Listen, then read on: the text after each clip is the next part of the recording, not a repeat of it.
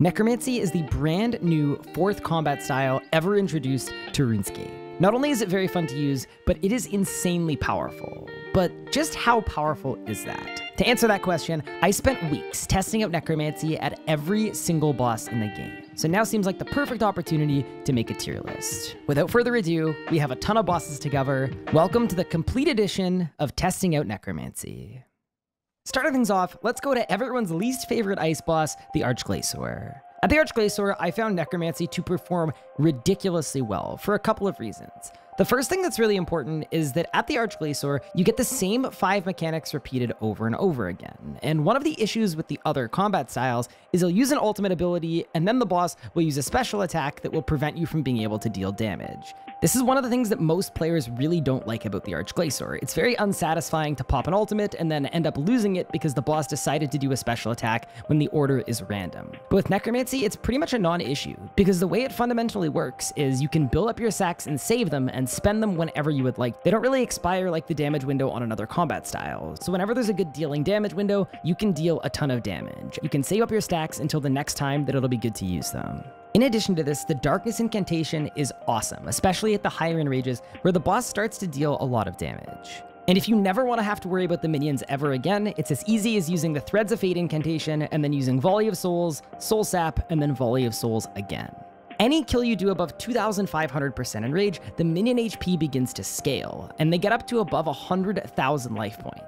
And even then, with that many life points, you can still one-shot that entire group with the exact same operation. Not only is it foolproof, but look at those hit splats. The first kill that we just watched was me breaking, at the time of recording, the 500% Enrage world record at the Arch-Glacor. But what about 1,000% Enrage? Is it still going to perform well there?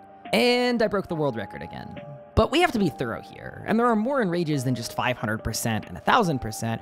What if we took the enrage a little bit higher? Now, I'm a very busy person, and it would be insane for me to spend 20 hours on one singular boss. That would just Okay, so I spent 20 straight hours pushing Arch-Glacor, and I can with 100% accuracy and certainty guarantee that Necromancy is insane here. I managed to do 82 kills in a row before I died a single time, and every single one of these kills was the highest in Rage I'd ever done. That's a total streak of about a thousand in Rage without a single death. I've done thousands of kills with this boss, and no prior experience has been anything like this. This is the perfect boss to showcase and use Necromancy. Every single advantage that Necromancy has over the conventional three combat styles absolutely shines at this boss and I could not recommend it enough. And you already know I went and sent 4000%. I now have the Golden Iceborne title, and that is very much in thanks to Necromancy.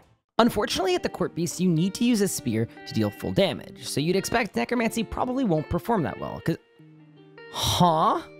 So it turns out with Necromancy, you only deal half damage at the Corp Beast, but unfortunately for the Corp Beast, half damage is still a hell of a lot more damage than you would do using melee with a spear. If you're planning on AFK in Corp, I would still strongly recommend melee, but if you're planning on actively taking out the Corp Beast to maximize your kills per hour, Necromancy absolutely slaps, in a way that it probably shouldn't. It feels actually very weird that it slaps like this, but hey, I didn't make the combat style, and it is extremely good at the Corp Beast.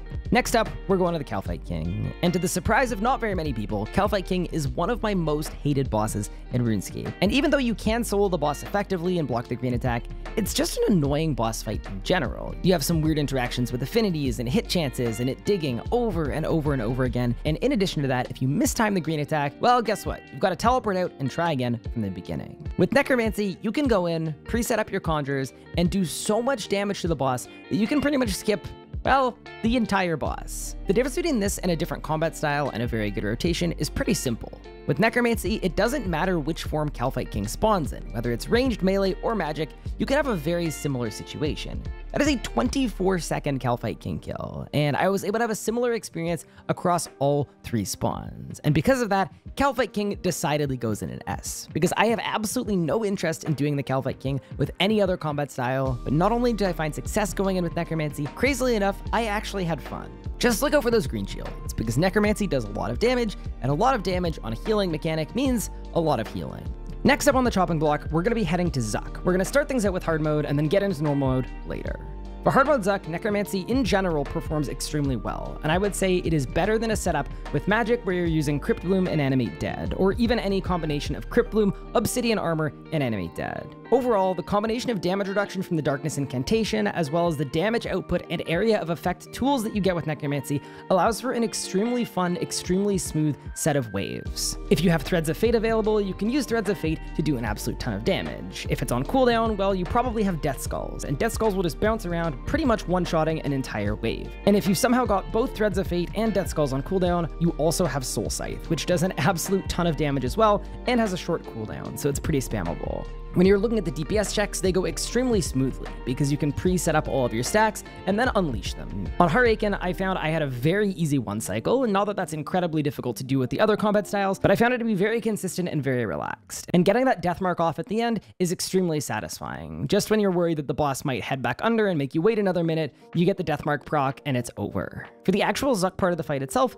I didn't really have any complaints. The six tile attack range I thought could be a bit of a problem for pizza time, but it wasn't an issue issue at all, so long as you're willing to have both keybinds for surge as well as dive for accuracy. And you'll see here in this clip, I was able to cruise to a very relaxed, very easy two cycle in hard mode, which is consistent with what I'd be able to do with magic.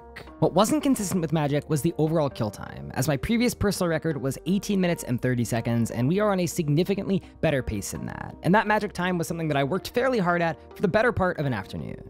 But now, there's one negative that we do have to talk about. This is going to be fixed at some point, but there's currently a bug with Deathmark, where sometimes on the conduit, it will go off multiple times instead of just once. And although this is very nice for a speed kill, it can catch you off guard, because without warning, you can prepare for one singular bomb, and you can get slapped in the face with two. If you're going for your first ever Zuk cape, or you're wearing the power gear which death marks automatically, that can end up putting you in a very bad spot. But outside of that one negative, Necromancy has all the tools for an absolutely fantastic hard mode Zuk run, and it would be my strong recommendation, whether you're planning on doing a ton of Zuk runs and you're experienced, or you're going for your very first one. I also got my Zuk title during testing, and that's just icing on the cake. Heading into normal mode, I learned something new, which is that if you get the boss phase to 100,000 life points before pizza time, it automatically phases into pizza time so that you're stuck getting one no matter how fast you go. I thought I was just gonna skip the whole thing and manage to just wipe the entire boss, but apparently that is not the case. So you'll see here, I got it to the 100,000 HP phase point with ease, and then after that, I was surprised to find that I still had to deal with the pizza phase. Clearing the entirety of normal mode Zuk in under 12 minutes is extremely cool, and both normal mode and hard mode Zuk belong decidedly in the S tier with Necromancy. Next up on the chopping block, we've got Rise of the Six. Now, Rise of the Six is a 0.6 second boss fight in teams of 4 and 2, and that's not even a necromancy thing. It was doable with ranged and also with melee as well on certain rotations, and because of that, I didn't really want to focus on doing Rise of the Six in groups of 2, 3, or 4. Regardless of the setup you want to bring, your kill time is going to be extremely quick and you don't have a whole lot to worry about. But solo is a little bit different, because in a solo Rise of the 6 kill, you have to wait until the brothers all cross onto the same side, and in order to do that, you can't kill any of the brothers on your side yet. You have to wait about 25 seconds, and then after the elapsed period of time has passed, all of the brothers will cross over, and then at that point, you need to do as much area of effect damage as humanly possible. And as you could probably imagine, Necromancy leans extremely well into this, because you can spend that first 25 seconds of the fight just building up your stacks on the existing brothers without killing any of them. And then as soon as everybody crosses over, you can absolutely unleash with a Threads of Fate combination, your Death Guard special attack, and Volley of Souls. And in doing that, you will have the easiest Rise of the Six solo of your life. Look, I've done a ton of Rise of the Six solos. Rise of the Six was even the first episode of my solo-only Iron Man series from a couple years back. And I've gotta say, compared to that, this was a whole different experience. It was cohesive, it was fun, and for that reason, it's going right in the S tier. Raksha is one of the most popular bosses in RuneScape. I think it's the perfect length of time to have some fun, engaging, interesting mechanics, but there is one annoying aspect to the Raksha fight. And in my experience, that's clearing the pools. It's a little bit of switchscape because most people will end up having to bring a two-handed weapon and then laceration boots, and then you've got to do a switch, clear the pools at the right timing, and if you don't do that, you end up having a really bad experience. And I'm here to let you know that clearing the pools with laceration boots is no longer a thing that you will ever have to concern yourself with ever again. And there are two ways of getting around it. The first is what you're currently watching, which is a number of kills back to back to back to back to back where I quite simply just skipped the pools by spending all of my stacks and instantly phasing the boss before he had a chance to do anything with them. This is something that is possible to do with magic, melee, and range, but it is significantly more technical and more difficult to do. And with Necromancy, I found it to be 95% consistent. Almost every single time I went for a pool skip, I was able to get it no problem at all. But let's say you're not the most experienced with your damage output, and you don't really want to mess around with trying a pool skip where if you mess it up, you end up taking a ton of extra damage and it kind of scuffs up the rest of the kill. Well, have I got some good news for you? Because not only does Necromancy offer a ton of damage for pool skips, but it also offers a ton of area effect abilities that you can use to very simply and effectively clear the pools yourself. I experimented with a number of ways to do this, and I didn't find any method that I preferred over any other one. The easiest ability you can use to clear the pools is Bloat, because so long as all of the pools on the floor are connected to each other, using Bloat will guarantee that they all die. For the pools that aren't completely connected, you have some other good options as well. The first option is to use the Threads of Fate incantation, and then you could use Soul Sap, Volley of Souls, and then Soul Sap again. And that will immediately clear three sets of pools. Alternatively to that, you could also go and use Soul Scythe, and that will get the job done extremely well well too. I was able to consistently skip the pools and consistently kill Raksha in right around 2 minutes, which is pretty good and consistent with a high level of proficiency in the other combat styles. And the only reason it's going in A tier instead of S tier is because the Conjurers get stuck on the last phase all the time. There might be a patch coming to this in the future, but as it currently stands, they are not the smartest. And if your Skeleton gets stuck on the last phase, you're going to be missing out on an absolute ton of damage, and you'll actually have to reconjure him, which can be pretty annoying. Next up, we are heading in to Elite Dungeon 1. You know how Elite Dungeon 1 has a ton of mobs that are extremely annoying to deal with. They will stun you, they'll deal a ton of damage, they can really end up ruffling your feathers and ruining your general dungeon experience. Well, with Necromancy, fear the minions no more. Whether it's a Threads of Fate and Volley of Souls combo, Soul Scythe, or even a Death Skulls, when used correctly, the minions will die before they have a chance to spec you at all. When it comes to the Sanctum Guardian, this is a boss fight that you can more or less wipe with a good ultimate ability rotation with any of the four combat styles. But with Necromancy, I was able to get myself a personal record in not very many attempts, and overall, I thought it performed solidly.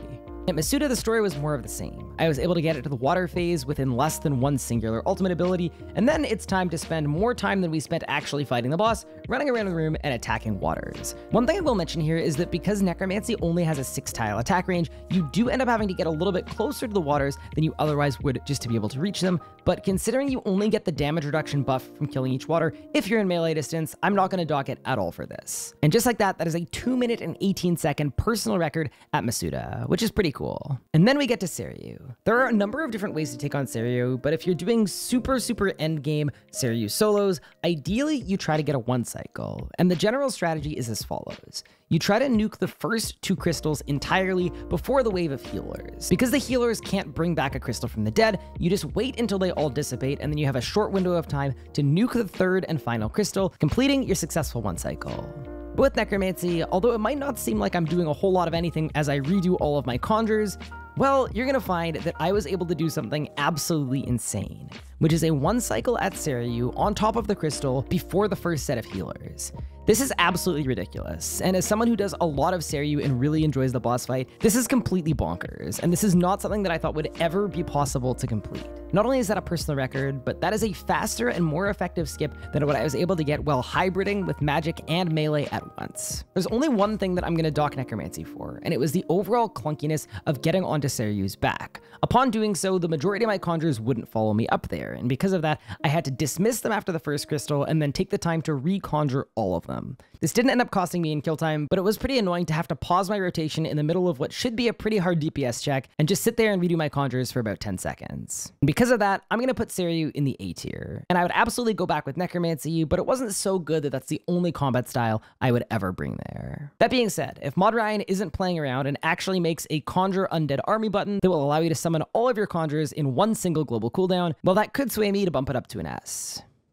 Heading into ED2, I'm going to say a lot of similar things to the first Elite Dungeon, such as the area of effect on Necromancy is absolutely second to none, and it absolutely outmatches the other combat styles by a long shot. The amount of tools you get in your toolbox makes clearing the dungeon extremely fun, satisfying, and most importantly, fast. When we're looking at Astellarn, something that's fun to note is that if you're using the Split Soul incantation, you can actually deal damage to the boss through the hit caps. So even though the boss's HP is supposed to pause until you've done the Neuron Star and all the rest, you can actually go past it, and that allowed me to get myself a personal record at the boss. The ability to hold 5 souls at once was extremely nice for clearing the Celestial Dragons and blocking their heal, because normally you'd need to make sure you were managing your cooldowns correctly, and instead with Necromancy, so long as I had some souls floating above my character's head, I knew that whenever I needed a stun, all I'd have to do is hit Soul Strike.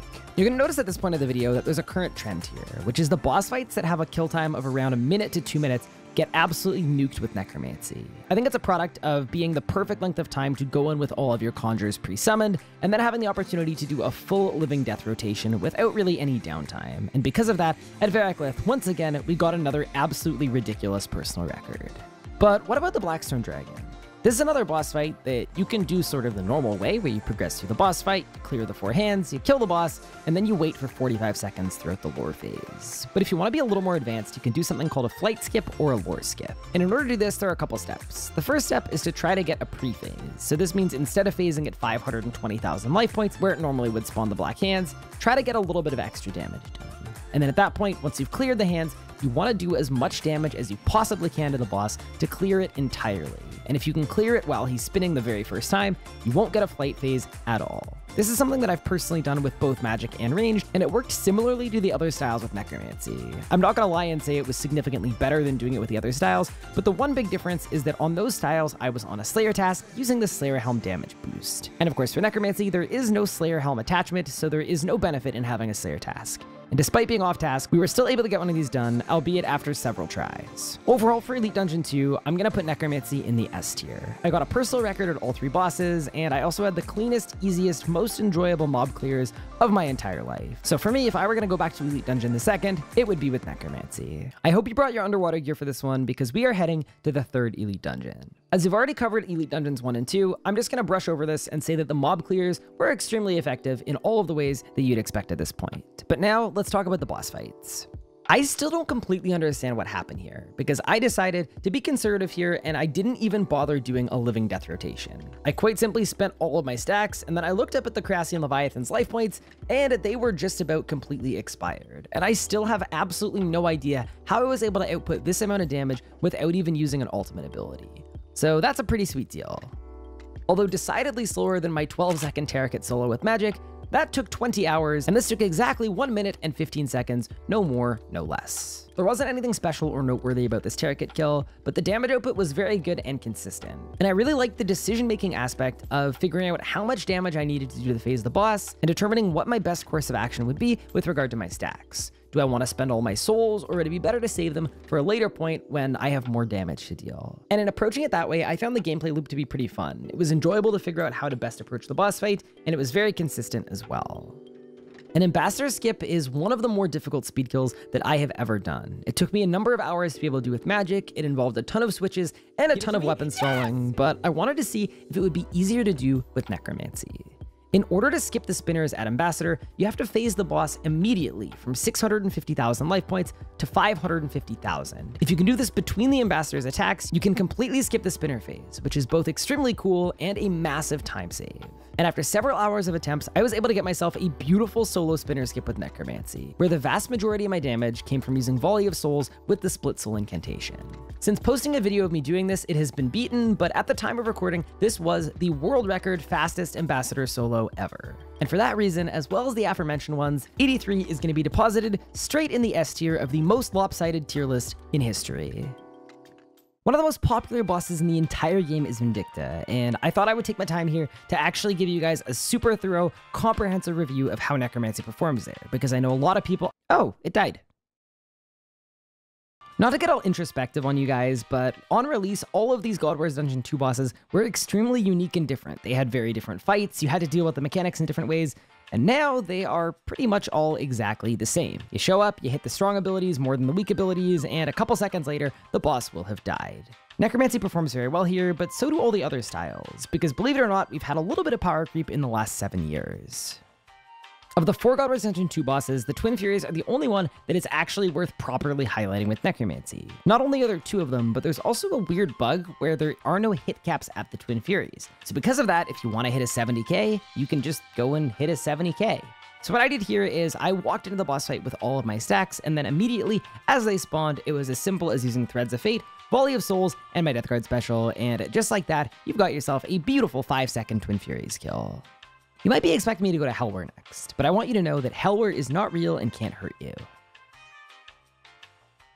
Next up, let's check out Rasial. Rasial is a weird boss to put on a tier list and categorize how effective Necromancy is at it, considering you cannot use any of the other combat styles. He's completely and utterly immune to all damage forms that aren't Necromancy, which thematically makes a lot of sense, but for the sake of ranking it and comparing it to the other combat styles, well, it puts me in a bit of a tough spot. All I'm gonna say is I had a lot of fun at this boss fight with Necromancy, and especially once you've got the tier 95 gear, you will have an easy time absolutely melting him, as long as you're following a rotation that makes a certain amount of sense, and you're using the reflectability on the last phase.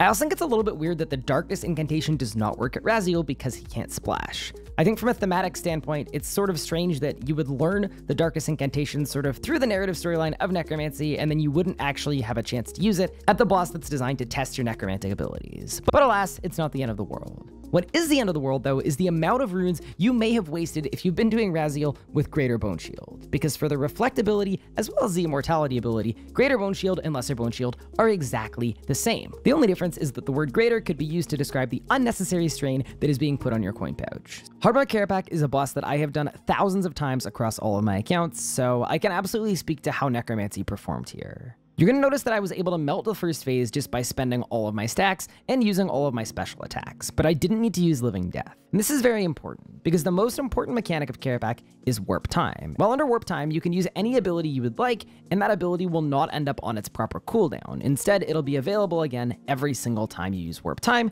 which is every 30 seconds. Because of this, instead of using Living Death and then once it expires having to wait a full minute after it expires for it to come back off cooldown, you can instead use Living Death with 100% uptime, which is extremely powerful and extremely strong. I don't think I completely refined these skills, and the potential for Necromancy at Kerapac might be even further beyond what I'd even done here. But I got a number of kills in the 3 minutes and 10 seconds to 3 minute and 20 second range, which is a few seconds faster than my kill times on a Slayer task, hybriding with melee and magic. Your mileage will vary here, and I did find Necromancy at hard mode Kerapac to be more challenging and complicated than using ranged and big arrows. But complexity aside, if you're looking to get those faster kill times, it performed exceptionally well, and I would highly recommend it. Normal mode went about how you'd expect. It was extremely smooth and easy, and even though Kerapac is only two years old, it feels like this boss has just about been out power crept by Necromancy. Overall, I'm gonna throw hard mode Kerapac in the A tier. It was nice not having to worry about getting a Slayer task, the kill times are competitive, and although I will probably go back with another combat style at some point, if you asked me to grind hard mode Kerapac for a Fractured Staff of Armadyl, I would put on my Necromancy gear and I wouldn't look back. Of every boss we've done so far, Araxxor was by far the most difficult one to raid. And the reason for this is pretty simple. If you're going for a speed kill and you're trying to do what is called a solo skip, Necromancy performs exceptionally well. This is the technique where you spend the first part of your fight gaining stacks, setting up a crazy damage output rotation, and then you deal 100,000 damage to Araxxor and phase it before it begins to heal, effectively skipping an entire phase. This is great for speed kills and fun personal records, but it only works when the minion path is open. And for these solo skips, which I have done with ranged, melee, and now Necromancy, Necromancy performed by far the best and the easiest. It was the first time that I was able to get one consistently every single kill without having to do anything super, super crazy or super sweaty from a rotation standpoint. It was as simple as building up all of my stacks and then unleashing them on Araxxi as soon as I possibly could with the aid of a Deathmark. But I've gotta say, that is one of the nicest looking combos you can ever do. No matter what combat style you're using, go for a solo skip at Rax. It is one of the coolest speed kills in the entire game. It's also really cool that you're able to get a solo skip without even using Living Death, so you can save your Living Death rotation for the final phase and make sure that that final phase goes by almost instantaneously. But now let's talk about the negatives, and there are several. The first thing I want to talk about is the Mirrorback Spider. If you get a Mirrorback Spider spawn, you would think that you'd be able to use one of Necromancy's many area of effect attacks to very effectively get rid of all the minions, but unfortunately, that isn't a very good option, because if you use an area of effect attack on the Mirrorback Spider as well as Araxxor or Araxxi, what you're actually going to end up doing is area of affecting yourself, and you're going to end up one-shot. There's a similar issue with the web shield, which is that if you inadvertently deathmark or you're wearing the tier 90 power gear that deathmarks automatically, what can end up happening is if you inadvertently attack yourself, well, instead of just attacking yourself, you're actually going to end up deathmarking yourself. And that is a very fast, effective way to send yourself a one-way ticket to Death's office. The two other things I didn't like about Necromancy at Rax are as follows. The first is that if you go in with Necromancy and burn the web down, you have no idea which variety of Araxxor you're going to get spawned in. Because Necromancy falls outside of the combat triangle, so does Araxxor spawn, where if you were to use one of the original combat styles, Araxxor would always spawn at whatever is weakest to you. Because of this, if you want to game the system and get a specific spawn type, which has a specific better drop rate for one of the three Noxious weapons, you're going to have to bring a main hand weapon of a different combat style and equip it while you're burning down the web.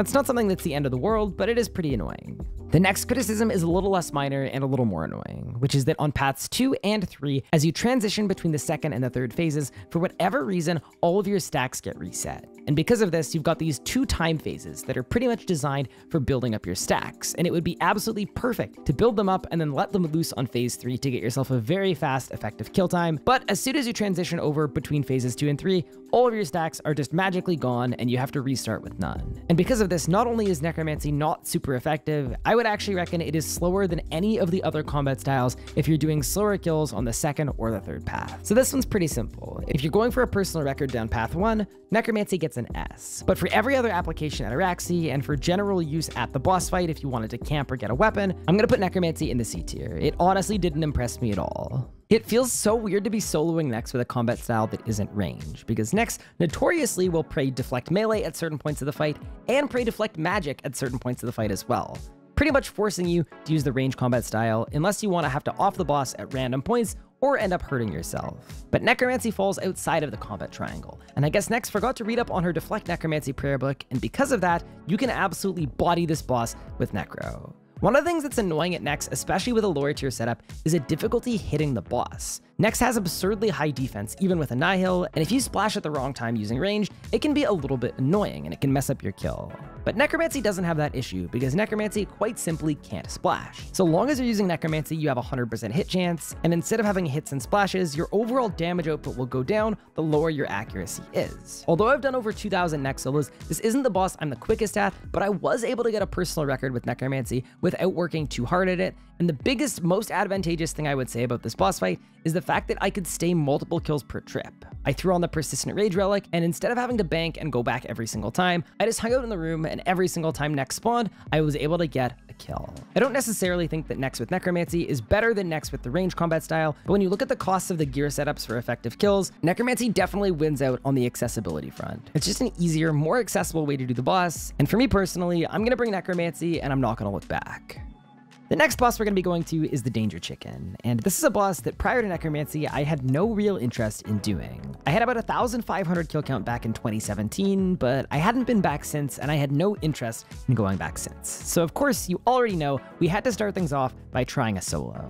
And after a few hours of attempts, I was able to get an extremely clean one. I've done solo Angel of Death before, but my final kill time was over 10 minutes faster than my original solo kill with magic, and it felt significantly easier too. Being able to wear the tier 90 tank gear to give yourself a ton of extra life points to deal with the mechanics and solo tank the pools was absolutely awesome, and in general, being able to build and spend your sacks made the boss fight flow extremely well. When you needed damage, all you had to do was plan ahead and you'd have all of the damage you needed and more. But by far, the most satisfying part of solo Angel of Death was the fact that if Angel of Death is standing directly in the middle of the room, you can use Threads of Fate on AoD, and then at that point you can do a Threads of Fate combo that will both hit and completely kill all four amalgamations at the exact same time. This is probably the single coolest thing I've done with Necromancy up to this point. As fun as it was in a solo, I know that's not entirely practical, and the majority of people are not looking to solo Angel of Death, they're looking to do seven. So I went and did about 800 of them. And my final verdict is that Necromancy makes Angel of Death significantly easier and more accessible than any other combat style. Unlike the other styles where you'd usually start the fight by doing a pre-build on a dummy and setting up a rotation, at Necromancy, you wait for the base to do their conjures, you copy them, and you have an extremely smooth, fast kill.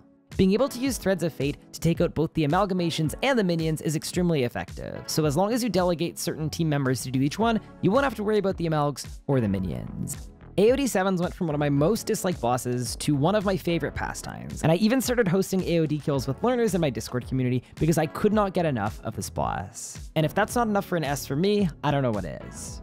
Usually when I make a testing video, I make a joke about the Queen Black Dragon because I don't have the greatest history there. I lost two lives on my last hardcore, and overall, this boss has been the bane of my existence for a number of years. And it's a bit of a recurring joke that I go in, I beat up the boss very effectively with the weapon, and then I say, hey look, the weapon did well here. Because in reality, the Queen Black Dragon is far too easy of a boss to really be a part of this video. But this time around, the QBD actually bested me yet again, because there is a bug with Deathmark, where if it procs twice back to back, well, guess what? You will phase the boss twice back to back, but the platform will not unlock. So not for the first time in my life, I actually perished by the hands of the Queen Black Dragon and I had to teleport out. If you fight the Queen Black Dragon in power gear and you encounter this bug, there is no way to complete the fight without leaving or teleporting out, so that's Queen Black Dragon 1, me 0. But I will go back and get some revenge. Let's just not use Deathmark this time, and you'll see that I was able to calmly cruise my way to an effective 28 second PR. For Queen Black Dragon, it goes like this. If you're wearing the tier 90 power gear that randomly death marks all the time, well, it's gonna belong in the F tier. But for anything else, it gets a B. At the end of the day, this boss does not have enough life points for current year power creep, so you're gonna melt her with just about anything. Just make sure not to death mark. Solak is one of my favorite bosses in the entire game. I've got the title, and I also have over 2,300 kill count here. I've done a ton of solos, duos, and group kills as well, so I can absolutely speak to how Necromancy performs at this boss. Initially, I was a little skeptical of the performance, because the 90 second cooldown on Living Death I felt might cause some issues with sustained damage, especially on the second and third phases. But oh boy, was I completely and utterly wrong. Because Necromancy is a poisonable target, you can use the synergy of the Blood Reaver Familiar, Cinderbane Gloves, Weapon Poison, as well as the Zombie's Poison effect to deal an absolute ton of poison damage. And with all of that, we were able to get a very clean root skip, where I was able to deal 500,000 damage to the boss and clear out all the rootlings with extra time to spare. This is very different from when you're going in with magic and melee hybrid kills, where a lot of the time it's a pretty close call, and you can end up getting into the arms and legs while still having a couple rootlings left to take out. The other thing that was really satisfying was watching my skulls bounce to the rootlings and then back to Solak as well. So not only were they helping me phase the boss, but they were also clearing out rootlings for me, and I could run along the rootlings with them bouncing between Solak and the root over and over again. Heading into the arms and legs, the attack range on Threads of Fate is not good enough to reach both arms, so you're kind of on your own for those. But for the legs, it's a really fun combo. And then I was able to one cycle the core with ease, just using Deathmark, some thresholds, and not a whole lot else. And then we head into phase two. There's a decision you have to make when you're doing Solak on phase two. If you're newer or going for a slower, safer kill, you would actually go up and clear the storm. But if you're comfortable with your healing ability, you can actually opt to do a storm tank, and you'll end up taking storm damage for pretty much the rest of the kill. This used to be seen as a very advanced method because the damage you take was very difficult to mitigate. But I've gotta say, the combination of the Blood Reaver and the Ghost is absolutely nuts, and no matter how much damage I was taking from Solak and from the Storm, I didn't really have to use any defensives, and I also pretty much didn't have to eat. I did what is usually considered a high danger, risky play to save myself about 30 seconds, and I didn't even notice that I was doing it in the first place. It really didn't feel like the Storm was active at all, and the Ghost plus Reaver combo was able to out-heal absolutely everything. Phase 3 is the phase where you have to charge up all the pads and proceed into Phase 4. We're going to speed it up here because there's not a whole lot to say about it. Regardless of what combat style you bring, it pretty much goes the same way. Heading into Erethdor, it was extremely easy to one-cycle with Necromancy, especially aided with a little bit of Deathmark action, and then heading into the last phase, I used Living Death and absolutely bodied him. If I were to do this again, I honestly don't even think you'd need to use Living Death on the last phase, and I may have used it earlier than that, to get a faster Erethdor and a faster phase point as well. To put into perspective how ridiculous getting a 5 minute and 17 second Solak kill is, I grinded for 18 straight hours very recently to get myself a 5 minute and 45 second kill for the PVM Encyclopedia Mastery tag, and with Necromancy, in only a couple tries, I absolutely bodied it. I really have nothing bad to say about Necromancy's performance as Solak. This is absolutely ridiculous. The amount of damage I was able to output, the kill time, the performance, the food usage, the storm tank. This was insane, and I could not recommend it enough. I will be using Necromancy at Solak from here on out, but if you are someone that is looking for easier, less technical kills, you're probably still better off using Bik arrows, because instead of requiring some knowledge about rotations, Bik arrows pretty much just require using Bik arrows. So that's probably an easier solution, but I don't think anything is faster or cleaner than Necromancy. I have more kills at Telos than any other boss in RuneScape, and it's not even close. Across my three accounts, I've defeated Telos over 7,500 times, almost exclusively with magic. And because of that experience, I was really dreading going to Telos with Necromancy, because I didn't think I would be able to perform well enough with Necromancy for it to be able to compete with what I knew and what I'd done so many times in the past. And oh boy, was I completely and utterly incorrect. When you bring Necromancy to Telos, even at 2,449% Enrage, which is what I was doing here, as long as you have a decent DPS rotation, the boss will simply perish, phase after phase after phase. He doesn't really last long enough or survive long enough in the majority of these phases to even do a single special attack. And I was absolutely astounded and flabbergasted the entire time I was doing this testing, because this blew my mind. The Telos that I'm used to doing, you use Telos' mechanics and you play the boss fight around them. You have to be preemptive and prepare for them, and the rotation you use is very specific. And with Necromancy, I was quite literally just hitting stuff. And let me tell you, it was working.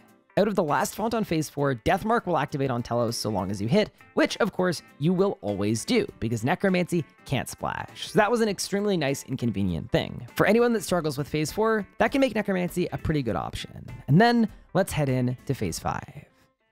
Unlike with a different style, I didn't really have a set rotation for this phase 5. I started off with Reflect, and then at that point, I was pretty much hitting stuff and trying to deal as much damage as I possibly could. I used Natural Instinct, I used Living Death, and then I barricaded as the first Rockfall came down. And then at that point, you're just gonna watch Telos' life points drop and drop and continue to drop. And that is a 3 minute and 15 second personal record, which is actually faster than any of my previous 2449% kills that I've been able to do with Magic. I cannot stress enough how many hundreds of hours it took for me to truly hone my craft at Telos with Magic and have a deep understanding of exactly what to do every phase to clear it without using any food and to clear it effectively as well. And to see that completely blown out of the water with Necromancy was absolutely shocking to me. And because of that, I'm going to put Necromancy Telos at the top of S. You don't really need to understand Telos to be able to do Necromancy with Telos, you just need to be able to understand Necromancy. And if you can do that, you're going to be able to get to 4000% Telos no problem at all. Vorago is an interesting one because in order to solo Vorago, you need to understand a lot of the intricate mechanics, and it's not exactly a beginner-friendly activity. It's something that I'd previously done with Magic and with range, so trying it out with Necromancy was a really fun challenge. Unfortunately for Vorago though, Necromancy has a lot of things that make it extremely effective, especially for phases 1 through 4. Vorago will reset your stacks between every phase, which you might view as a negative, but it also allows you to drop target between every phase, which means you can start every single phase by losslessly doing all of your conjures and commanding your ghosts. And the result of this is an absolute ton of damage dealt and not a ton of damage taken. I mean, just look at this phase 3. I was able to get through this third phase faster than I'd ever been able to with any of the other combat styles, and I had a lot of fun doing it as well. But by far the most difficult and important phase when you're looking at Vorago is the fifth and final one. Usually you'd start phase 5 of Vorago by putting on a melee main head weapon and using the Statius Warhammer special attack to prevent you from splashing too much. But because Necromancy quite simply doesn't splash, I didn't even bother with the hammer and I got right to dealing damage. You could alternatively start this part with Barricade, but I elected not to, just to see how much juice Necromancy really had. I used my Death Grasp special attack as well as my Tier 95 special attack to get myself a little bit of damage, and I was actually able to positively push the boss despite taking a number of bombs. Heading into the first reflect, I'm going to do a technique called bomb stacking. And how this works at Vorago is every single time he hits you with a blue bomb, you end up getting one square of pushback. But if he hits you with multiple blue bombs at the exact same time, you still only get one tile of pushback. If you go to max distance as Vorago launches a bomb, and then you quickly move into Vorago's main distance as he launches another one, both bombs will collide with you at the exact same time, effectively having the pushback you take. After my nice bomb stacking adventure, I decided it was time to quit messing around, use Living Death, and push the boss all the way to the mall spot. And I enjoy this quite a bit. I think my preferred combat style for this is still Magic, but that's probably because I've been maging at Vorago for over five years. And if you're someone new who's looking at learning how to do Vorago, I think Necromancy is a very good option and a very strong play. It did everything I needed it to do, and because of that, it's going in the A tier. Now it's time for the most disappointed that I was in the making of this video, because on paper, I thought that Necromancy would perform awesome for solo Beastmaster. This is something that I've done, I believe, more than anyone else in the game, having over 50 Beastmaster solos, all with magic. And in my head, I felt like Necromancy would have all the tools. And at the beginning, it proved very true. I had a very clean, easy, awesome time dealing with the Arid and Charger phase at the beginning. But then we encountered an issue that proved to be completely and utterly insurmountable. When you're doing a Beastmaster solo, you have to be running around for a large portion of the fight. This is especially important if you use the new method, which involves not letting Beastmaster hit you a single time all the way up to 750,000 life points with melee. So long as he doesn't punch you, he doesn't spawn one of the pets, and you can actually cruise to a relatively simple Beastmaster solo where you don't have to take a lot of damage or deal with too many mechanics. But unfortunately, with a 6 tile attack range, I just couldn't do it. In order to deal damage to Beastmaster, I had to consistently be far too close to him to prevent him from meleeing me, and I found it extremely difficult to kite. So unfortunately for me, what I thought was going to be an absolute S tier and a game changer for solo Beastmaster, I personally wasn't able to get it to work, and I spent over three hours here. That said, if you're doing a regular Beastmaster kill or a regular raid with 10 people, you'll have a fine time with Necromancy. I'm not going to say that it outperforms the other styles, but it absolutely works, and especially if you're looking for a setup that doesn't have a ton of requirements or is fairly inexpensive, if you got that Necromancy setup, you're going to have a good time. Because of that, I'm going to throw it in the top of B. Next up, the boss that apparently only 1% of the player base has killed, it's time to try out Zamorak with Necromancy. And the first thing we're going to look at here is me skipping every single mechanic at 500% enrage simply by building up my stacks, charging up the pad, and then yeeting all of them at the boss in no particular order. This is something that is possible with the other combat styles, but it was very fun and very clean with Necromancy. You've also got a little ghost healing you the whole time, and overall, I had zero complaints about the performance of Necromancy throughout the first six phases. It was pretty fast, it was pretty easy, and it was also pretty nice to be able to redo all of my conjures for free after clearing my target by killing the witch after every pad. It just made life a little bit easier. Then we get into phase 7, and the best way for me to describe phase 7 is it's complicated. Unlike the other styles where you'd want to quickly kill the demon and then kill your two runes as quickly as possible, I found the most effective way to do phase 7 Zamorak with Necromancy was to simply ignore the bomb entirely, lower the second rune, and then kill the first rune. And then at that point, all I'm doing here is I'm building up and setting up an absolute ton of stacks. The reason I'm doing this is because at 500% enrage, the boss only has 166,000 HP. And you might be thinking that that's a lot of life points, but you've got to remember that 10 Storm Shards and Shatter will do 30,000 damage, and Deathmark will also do 30,000 damage. So really, I have about 8 seconds to deal 100,000 damage. With Necromancy, that is absolutely free. It felt really weird to me to just completely ignore the bomb that was charging up and let it charge up to 100,000 damage, but especially paired with the Ring of Death, this worked, and this worked extremely well. And if I were doing Zamorak with Necromancy, this is probably the approach that I would take. But that's only 500% enrage, and at enrages of 1000% and above, Zamorak maxes out his phase 7 life points at 250,000 per person. So in a solo, I've got 250,000 damage to deal with. Does the same method work?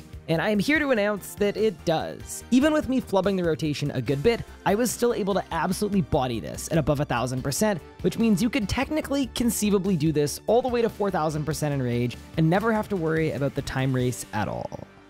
The reason this is significant is it allows you to do a completely different pad order on phases 1 through 6, because usually if you're using the standard method where you have to tank a lot of damage, you have to save a lot of the really strong defensive edict buffs for later on, so that you make sure that you have a lot of life points and you also have good defensive function. But if you're planning on YOLOing the phase 7, you can actually get through those first 6 phases while keeping your defensives extremely functional and your life points extremely high. So if you're willing to give this method a shot, it can actually bring you a much easier kill all the way through. But then we get to one large negative, which is that Death Skulls work in a very weird way on Phase 7, where instead of just going on to and bouncing between your character and Zamorak, they will also bounce around and hit the B or the X rune, and they can actually kill the runes during your cycle, and then in turn, get you killed. In the clip we're looking at right now, I managed to kill Zamorak as my skulls bounced and killed the B. And because of that, after completing the kill, I died after the phase transitions. And even if you think you've survived a kill despite using Death Skulls, you may actually find yourself on the wrong side of Death's office after the kill ends. Zamorak is the final boss, and is also one of the most difficult to rate. After thinking about it a lot, I decided to put it in B, because if I were to go to Zamorak right now, for high enrage, I'd still prefer to use magic, and for lower enrages, I would still prefer to range camp. But if you've tried the other combat styles at Zamorak and it hasn't gone particularly well, you should absolutely give it a try with Necromancy because it just might be the difference in strategy and difference in method you need to successfully get some kills. Okay, we have now successfully tested out pretty much every single boss in RuneScape with Necromancy, and this is my final tier list and the end of my comprehensive review. Thank you all so much for watching, and with that said, considering it is 5 o'clock in the morning, I'm going to bed. Take it easy, everyone.